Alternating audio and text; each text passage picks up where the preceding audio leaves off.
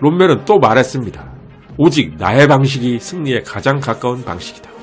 연합군이 어디에 상륙하건 우리에게 소규모라도 판저 사단이 있다면 보병으로 상륙하는 적에게 끔찍한 타격을 가할 수가 있는 것이다.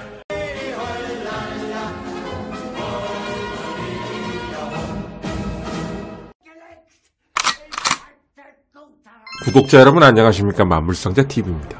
먼저 1944년 초 유럽 전체 지도를 보며 당시 전황을 간단하게 살펴보겠습니다. 먼저 서부전선은 1943년부터 연합군이 북아프리카와 이탈리아 남부에서 공세를 집중했으나 이탈리아 중부 구스타프 방어선에서 진격이 정체된 상황이었습니다. 동부전선에서는 쿠르스크 전투에서 독일이 퇴각한 이후 계속되는 소련군의 공세로 인해 전선이 계속해서 무너져 내리고 있었으나 방어전의 사자 발터 모델의 활약으로 간신히 틀어막고 있었던 상황. 결국 양면에서 협공당하는 상황이었기에 독일은 강력한 핵심 전력을 어디에서도 빼올 수 없었습니다. 때문에 연합군 상륙이 예상되는 프랑스 방어부대 중 특히 보병부대의 전투력은 최악이었습니다. 결국 연합군이 상륙한다면 막을 수 있는 전력은 질 낮은 보병부대가 아니라 오직 정예 기갑사단뿐이었습니다. 때문에 히틀러는 프랑스 방어를 목적으로 기갑사단들을 계속 편성하고 있었습니다. 따라서 1943년 중에 다음과 같은 유력한 기갑 세력이 새롭게 프랑스에서 재편성됩니다. 제12SS 기갑사단 히틀러 유겐트 1943년 6월 편성 제21 기갑사단 북아프리카에서 항복 이후 1943년 7월 재편성 기갑 교도사단 Panzer Lehr Division 1943년 11월 편성 노르망디 상륙작전 당시 프랑스 지역에 배치되어 있던 기갑사단 중 가장 유력한 부대는 이들이었습니다. 먼저 12SS 기갑사단 히틀러 유겐트의 경우에는 주로 어린 소년들인 히틀러 유겐트로 구성되었는데 이 어린애들을 훈련시킬 간부가 매우 부족했습니다. 따라서 독일 최강 부대였던 제1SS 등에서 경험 많은 간부 인력을 끌어와서 부대를 편성하게 됩니다. 이때 오게 되는 사람이 그 유명한 탱크마이어라는 별명으로 불린 쿠르트 마이어였습니다. 쿠르트 마이어는 이미 다른 컨텐츠에서 언급했지만 피지컬로 보면 독일군 최강의 사나이였습니다. 개전 초부터 전쟁터를 누볐던 쿠르트 마이어가 훈련시킨 12SS 기갑사단은 끈끈한 전우회와 훈련을 통해 점점 최강의 부대가 되어갔습니다. 다음은 제21기갑사단. 21기갑사단은 북아프리카에서 명성을 날리던 부대였지만 대단히 열악한 장비로 재편성되게 되는데 과거 프랑스 우리 사용하던 소미어 전차, 호치키스 전차 등의 노획품으로 편성이 이루어지게 됩니다. 또한 일부 중대는 1940년에 쓰였던 75mm 단포신형 4호 전차로 구성된 상황. 참으로 아이러니한 것은 이 21 기갑사단만이 D-데이 당일 노르망디 지역으로 급파되게 됩니다. 바로 롬멜이 직접 컨트롤했던 부대였기 때문이었습니다. 그런데 이렇게 약한 전력으로 연합군을 효과적으로 견제하기는 어려움이 컸습니다. 다음으로 기갑교도사단. 이 부대는 독일 육군이 직접 각지의 기갑부대 훈련학교에서 교도부대를 긁어모아 편성한 사단인데 당시로서는 육군 최강급의 전투력으로 평가되었습니다. 예하 보병연대 소속 4개 대대가 모두 반궤도화 장비를 갖춘 완편 기계화 보병사단이었습니다. 이것은 독일 육군에서 유일했습니다. 거의 700대 이르는 한호막을 장갑 차량을 갖췄습니다. 또한 240대 이르는 전차와 불격포, 그리고 1만 5천여 명의 부대원, 기갑 교도사단의 전투력은 실로 가공할 만한 전력이었습니다. 따라서 독일 입장에서는 이 소수의 기갑 부대들을 얼마나 잘 활용하느냐가 프랑스 방어의 핵심 사항이었습니다. 영국에서는 프랑스 상륙을 위한 엄청난 물량이 쌓여가고 D-Day는 시시각각 다가오고 있었습니다. 이 절체절명의 위기 상황에서 기갑부대 활용 문제가 독일군 지휘부의 쟁점 사안으로 떠오르게 됩니다. 당시 서부전선 독일군 지휘체계 먼저 가장 꼭대기에는 아돌프 히틀러 독일 국방군 즉 독일 육해공 전체 최고 사령관 겸 육군 총사령관을 맡고 있었고 그 히틀러 밑에는 독일 국방군 OKW 총참모장 빌헬름 카이텐 그리고 작전부장 요들 이 두 명은 사실상 OKW 책임자였으나 그냥 시청통의 명령을 대리하는 역할이었습니다. 그 밑에 서부전선 총사령부 총사령관의 룬투슈테트 원수 그리고 룬투슈테트는 직속으로 서부 기갑 집단을 두었고 그 지휘관에는 슈베펜 무르크 기갑대장을 두고 있었습니다. 그리고 명목상 룬투슈테트 산하에 B집단군이 있었는데 바로 이 B집단군의 지휘관이 롬멜 원수. B집단군 산하에 노르망디 지역을 수비하고 있는 7군과 파드깔레에 있는 15군이 있었습니다. 기타 다른 부대는 배제하고 전차부대 논쟁에 깊이 관련된 핵심 인물만 말씀드렸습니다. 노르망디 상륙작전을 코앞에 둔 시점에 벌어진 전차부대 논쟁. 명목상으론 서부전선에서 가장 높은 룬트슈트 원수는 서부전선에 있는 판저사단 전부를 관할할 수 있도록 서부 기갑 집단을 만들고 그 지휘관에 슈베펜부르크 대장을 뒀습니다. 자신이 기갑 부대를 모두 컨트롤하려고 한 것이죠. 그런데 롬멜이 B집단군 사령관으로 임명되면서 논쟁이 시작됩니다. 롬멜은 독일 내에서 최고 인기 스타였고 히틀러가 직접 힘을 실어주는 장군으로서 히틀러와 특별한 관계였습니다. 또한 롬멜은 영미 연합군을 잘 아는 경험자로서 자신만의 신념이 무척 강했습니다. 그래서 롬멜은 자신의 주장을 관철하기 위해 직속 상관인 룬트슈테트를 건너뛰어 직접 히틀러와 소통하며 자신의 주장을 어필합니다. 그런데 더 큰 문제는 OKW의 카이텔과 요들은 히틀러의 명령 전달 역할만을 했기에 명목상 OKW 즉 한국으로 치면 합동참모본부 책임자들이었지만 전혀 조율이라는 것을 못했습니다. 그래서 이 논쟁은 더 치열해질 뿐 도대체 해결이 안 나게 됩니다. 그러면 구체적으로 어떤 논쟁이었는지 살펴보겠습니다. 말씀드렸다시피 OKW의 카이텔, 요들은 히틀러의 비서나 다름없었고 주로 싸움은 롬멜 대 서부 기갑 집단 슈베펜베르크, 룬투시테트 간에 벌어집니다. 먼저 롬멜의 주장. 사실 롬멜은 무척 이단화에 가까웠습니다. 너무나 창의적이었죠. 구태의연한 방식보단 상황에 맞게 탄력적으로 하자는 것이 바로 롬멜의 주장. 왜 창의적이냐고 제가 말씀드리냐면 기갑 부대를 나눠서 해안에 붙여놓자고 했기 때문입니다. 일전에 올렸던 영상인 구데리안이 북한 기갑부대 사령관이었다면 이라는 영상에서 소개되었듯이 당시 독일 지휘관들에게 기갑부대의 집중은 상식이었습니다. 그러나 롬멜은 이 상식을 깨고 기갑부대를 나누자는 파격적인 안을 낸 것입니다. 다시 롬멜의 말. 연합군이 어디로 올지 우리는 모른다. 그래서 해변에 기갑부대를 나눠서 쭉 깔아놓자는 거다. 연합군이 어디든 상륙한 후에는 우리는 아무것도 못할 것이다. 우리는 조금도 움직이지 못할 것이고 하늘에서 무차별로 난타당할 것이다. 우리가 연합군을 저지할 타이밍은 그래서 오직 첫날 뿐이다. 이 날이 지나면 우리는 아무것도 할 수가 없다. 그래서 해안에 기갑부대를 바짝 붙여놓자는 거다. 즉 해안 방어부대와 기갑부대는 함께 있어야 한다. 이것이 롬멜의 주장이었습니다. 롬멜과 논쟁하게 되는 슈베펜부르크는 정통파 기갑 지휘관이었습니다. 그는 독일 기갑부대의 원칙을 따르는 인물. 그에게는 기갑부대의 집중이라는 원칙이 매우 중요했기에 롬멜에게 반대합니다. 그 이유는 일선에 기갑부대를 배치할 경우 나눠진 소규모 기갑부대가 연합군에게 뚫리면 어떻게 할 거냐는 것이었습니다. 그리고 이태리 전역을 예로 들며 기갑부대를 해안에 배치하게 되면 연합군 한포 사격에 피해가 클 것이라고 주장합니다. 그래서 슈베펜부르크는 기갑 부대를 파리 부근에 집결해 놨다가 연합군이 어디에 올지 확실해진 후에 전 기갑 부대를 모아 일제히 거기로 진격하자는 의견을 냈습니다. 이 두 사람의 논쟁은 너무나 치열하였고 둘 다 기갑 부대 전문가이고 자기 확신이 있었기에 누구도 이들을 중재하지 못했습니다. 누구도 앞날을 알 수가 없었기 때문이었죠. 롬멜은 또 말했습니다. 오직 나의 방식이 승리에 가장 가까운 방식이다.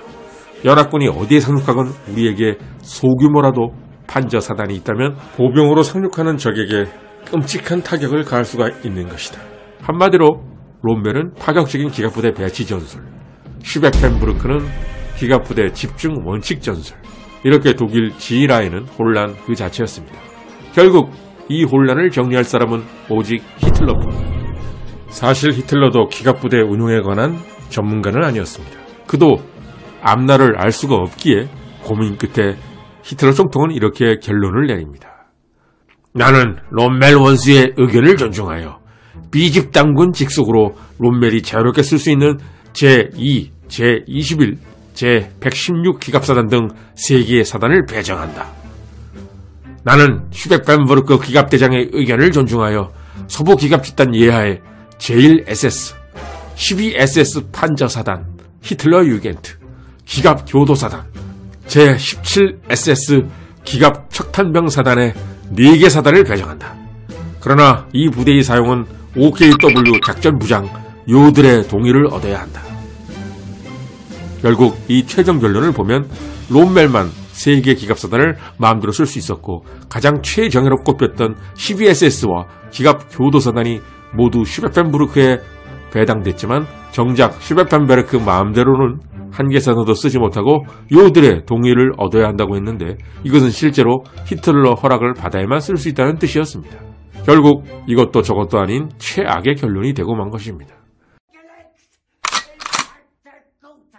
1944년 6월 6일 새벽 연합군 공수부대는 노르망디 해안 후방 깊숙이 강하하며 드디어 지상 최대 작전이 시작됩니다. 이때 노르망디에 가장 가깝게 있었던 기갑사단은 어떤 사단이었을까요? 롬멜이 마음대로 컨트롤할 수 있었던 세개 사단 중 바로 전차가 부족해서 프랑스 전차를 다수 쓰고 있었다고 앞에 설명했던 21 기갑사단 바로 그 부대였습니다. 이때 독일은 지지리도 운이 없었던 것이 B집 당군 사령관 롬멜은 아내 생일 축하 때문에 독일로 가버렸고 21 기갑사단장 포이어팅거 중장은 파리에서 놀고 있었다는 것입니다. 어디서나 지휘관이 없다면 마음대로 빠르게 행동하기 어려운 법. 21 기 갑사단은 신속하게 반격할 타이밍을 놓치게 됩니다. 그러나 그나마 노르망디에 가깝게 있었기에 캉 지역을 확보하는 데 큰 역할을 나중에 하긴 합니다. 그러나 독일로서는 너무나 안타까운 시간이 계속가고 있었고 연합군 공수부대는 후방에 산발적으로 낙하하며 교전이 벌어지게 됩니다. 롬멜도 없고 이제 결정을 내려야 할 사람은 오직 룬투슈테트 원스푼. 사실 롬멜보다는 기갑부대에 대한 지식이 떨어지지만 그는 경험이 많았습니다. 룬투슈테트는 이것이 공수부대의 단순 산발적인 공격이 아니라 진짜 대공격의 전조임을 감지합니다. 그러나 아직도 빠드 깔레인지 노르망디가 진짜인지 감이 오질 않았습니다. 그러나 시간이 흐름에 따라 룬투슈테트는 새벽에 공수부대가 강화하는 것이 노르망디 상륙을 위한 확실한 전초 공세임을 직감하게 됩니다. 1944년 6월 6일 새벽 4시 반 룬투슈테트는 마침내 결정을 내립니다. 자기 관할이지만 자기 마음대로 쓸 수 없었던 그 부대 12SS 히틀러 유게트 반저사단 기갑 교도사단에게 노르망디로 출동 명령을 하게 됩니다. 이때가 그 유명한 오마하 비치로 미군 상륙부대가 출발을 막 시작한 그 시각이었습니다. 룬투시타트의 출동 명령서는 희총통의 재가를 받기 위해 베르테스 가된 총통 지휘본부에 도착하게 됩니다. 그런데 이 급박한 상황에서 전문은 2시간 동안이나 방치됩니다. 사실 이 사실을 새롭게 알고 매우 놀랐습니다. 기갑부대가 노르망디로 이동해야 하는 시간을 고려하면 새벽 4시 반도 빠듯한 시간이었죠. 이 기갑부대들이 파리 근교에 있었기 때문입니다.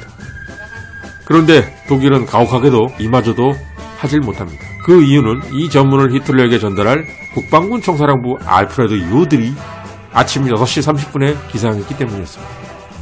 그런데 아침 6시 30분에 일어난 요들은 더 기가 막힌 짓을 합니다. 요들은 연합군의 진짜 의도가 아직 바드깔레인지 노르방디인지 모르는데 지멋대로 전략 예비를 움직일 수가 없다며 오히려 화를 냈던 겁니다. 요들이 히틀러의 OKW 작전 부장이긴 하지만 그동안 해왔던 대로 희총통의 명령 전달 역할만 했다면 당연히 히틀러에게 즉각 이를 보고해야 했습니다. 보고를 받고 희총통이 허락을 하거나 허락을 하지 않았다면 히틀러에게 책임이 있겠지만 요들은 아예 이 사실을 보고조차도 안 하고 무시해버리는 바람에 그 가능성마저 차단한 것입니다. 때문에 우리에게 널리 알려졌었던 히틀러의 늦잠 때문에 반격을 못했다. 이것은 정확한 것이 아니었습니다. 만약 아침 6시 30분 요들이 일어난 그 시각이라도 제12SS 히틀러 유겐터 판저사단과 기갑 교도사단이 출동했다면 어찌 되었을까요? 최근 군사 전문가들은 이때 기갑부대가 출동만 했어도 연합군은 바다로 밀려났을 가능성이 컸다는 의견이 많습니다. 그 이유는 미군이 많은 피해를 내며 저항에 부딪혔던 오마하 비치 상황을 생각해 보면 알 수 있는데요. 이 오마하 비치에서 미군이 상황을 정리하고 상륙을 가까스로 완료한 시점이 저녁이 다 된 18시였습니다. 때문에 아침 일찍이라도 출동을 했다면 충분히 오마하 비치에 도달했을 거란 계산이 가능한 것입니다. 자, 그럼 결론입니다. 기갑부대 배치 논쟁을 벌였던 롬멜과 슈베펜부르크 누가 맞았을까요? 결론부터 말씀드리자면 모든 것은 롬멜이 말한 대로 흘러가게 됩니다. 상륙 지점이 어디가 될지 모르기에 기갑부대를 적은 숫자라도 해안 가까이에 붙여놓자는 롬멜의 전략이 가장 합리적이었던 것입니다. 실제 연합군의 한포 사격으로 인해 독일이 받은 피해는 매우 미미했습니다. 악천후 속에서 상륙 작전이 반복 연기되는 바람에 연합군은 해군 한포 사격을 충분히 하지 못했기 때문이었습니다. 그리고 연합군이 함께 상륙시킨 수륙 양용 탱크 셔먼 DD는 상당수가 험한 파도에 휩쓸리는 바람에 실제 땅에 상륙한 것은 거의 없었습니다. 그래서 연합군은 거의 알보병으로 상륙을 할 수밖에 없었습니다. 때문에 소규모라도 강력한 독일 전차가 있었다면 연합군은 엄청난 희생을 낼 수밖에 없었습니다. 그러면 도대체 정의 기갑사단은 어찌 되었을까요? 히틀러는 새벽에 잠드는 버릇이 있었기에 오후 4시가 돼서야 일어납니다. 그런데 히틀러는 4시 일어나자마자 기갑부대 출동을 승인하게 됩니다. 결국 요들 장군의 실책이 더 아쉬운 부분이었습니다. 이것은 히틀러를 두둔하는 것이 아니라 실제 팩트입니다. 새벽 4시 반에 상륙이 시작되었는데 연합군을 막을 수 있었던 유일한 독일군의 전력은 오후 4시가 넘어서야 출동 명령을 받았던 것입니다. 이쯤 되면 왜 노르망디 상륙작전 배경 게임이나 영화에서 독일 전차들이 그렇게도 안 나타났었는지 이해가 가는 부분입니다. 그런데 더 심각한 것은 이 늦은 시간에라도 기갑부대가 출동을 하려고 하니까 프랑스 레지스탕스들이 이 정예 기갑산단들이 이동을 못하도록 모든 철도를 다 끊어놨다는 사실이었습니다. 그래서 이들 기갑사단들은 자력으로 이동해야 했습니다. 느리게 움직이는 이 기갑부대들은 표적이 되어 이동 중에 연합군 항공기에 무차별 난타를 당하게 됩니다. 이 모든 것이 원멜이 예상한 그대로였습니다. 그러나 저는 역설적으로 원멜에게 가장 큰 책임이 있다고 생각합니다.